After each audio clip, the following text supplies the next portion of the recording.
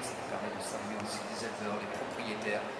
tous ceux qui contribuent justement à ces grands et beaux rendez-vous de sport qui nous soient permis de vous souhaiter une très agréable Rolex F1 World Cup ici à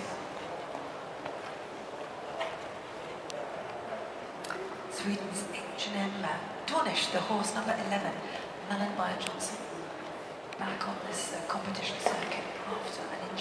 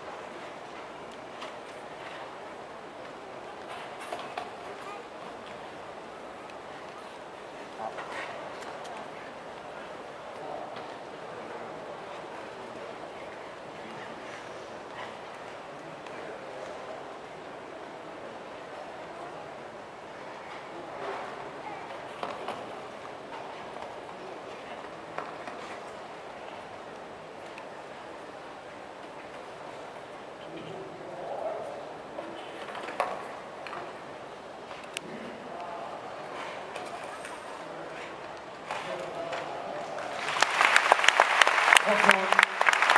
戦力古墳昇格を